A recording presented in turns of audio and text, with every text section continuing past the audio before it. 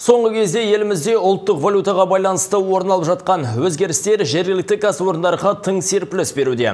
Мәселен, Петропавл құрылыс материалдар зауыты жыл бастан 1 миллиард теңгенің өнімін шығарып, соның 850 миллион теңгесін саудалаған. Енді кәсіпорын жыл соңына дейін өндіріс көлемін арттырмақ ниетте.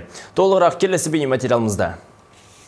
Петропавл құрылыс материалдары зауыты жауапкершілігі шектеулі серіктестігінің жұмыс жасап жатқанына 8 жыл болды. Осы уақыт аралығында аталмыш кәсіпорын ел нарығында ойып тұрып өз орнын алды. Бүгінде мұнда полиэтилен құбырларын жасайтын 4 желі жұмыс істеуде. Осының арқасында зауыт жылына 51,6 мың тонна өнім шығаруға қауқарлы. Биылдың өзінде серіктестік 1 миллиард теңгенің өнімін өндірген.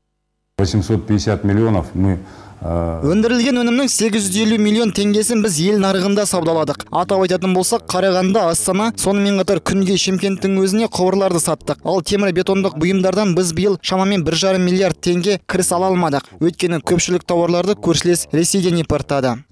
Еліміз қандай қиын қыстау шақты өткергенмен кәсіпорын жұмысы тұралап қалған жоқ. Керісінше дамудың даңғыл жолына түскен. Бүгінде серіктестікте полиэтилен құбырларымен қатар темір бетондық бұйымдар шығарылады. Соңғысын әзірлеуге 120 адам еңбектенеді екен. Петропавл құрылыс материалдар зауыты жауапкершілігі шектеулі серіктестігінің бас директоры Александр Кондратовтың айтуынша, елімізде валютаға байланысты орын алған өзгеріс өте тиімді шешім. Өйткені ресейлік рубль құлдырағанда қазақстандықтар астына қос-қос көлік пен түрлі құрылыс материалдарын сатып алған. Сол себепті мемлекетіміздің экономикасын бәсеңдетіп көршілес елдікін көтеріп бердік дейді.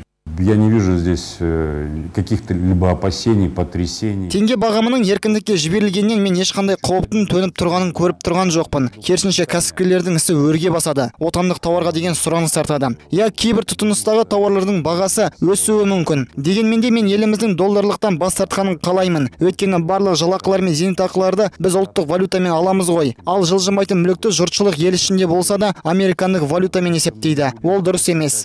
Кәсіпорын басшысы Александр Кондратов еліміз басынан кешіп келе жатқан осы қысылтаяң шаққа қарамастан жыл соңына дейін өндіріс көлемін арттырмақ ниетте. Риат Шонин, Тимур Рахматуллин, муниципалдық телеарна.